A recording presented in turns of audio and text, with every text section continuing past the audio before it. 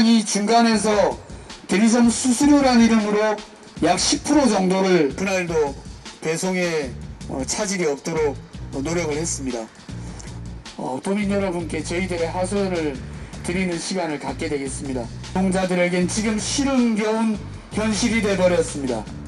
정부가 앞장서서 택배 노동자 보호를 하겠다고.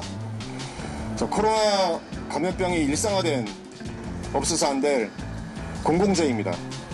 그리고 택배 노동자들의 절박한 투쟁을 꺾기 위한 희석화시키기 택배 노조 CJ 대한통운 제주지회 서리석 지회장입니다. 여러분, 제주도 CJ 대한통운 서귀포 터미널에서는 전국에서도 유료회를 찾기 힘든 수수료 갈취가 자행되고 있습니다. 일부 악동, 소- 악덕 소장들은 배송 수수료를 지급하기 전에 이른바 대리점 수수료를 떼고 택배 노동자들에게 지급하고 있습니다. 지난 6월 CJ 대한통운 전국 대리점 연합회 측의 주장에 의하더라도 전국 평균 10에서 12% 정도도 정도로 서귀포 터미널에는 두 배에 달하고 있는 것으로 확인되었습니다.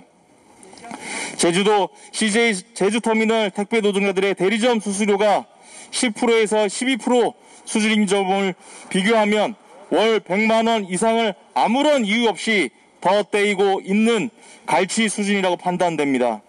이런 경우는 전국 2천여 개 CJ 대한통운 대리점들 중에서도 유례 사- 유사 사례를 찾기조차 어려운 수준이며 비상식적인 수준입니다.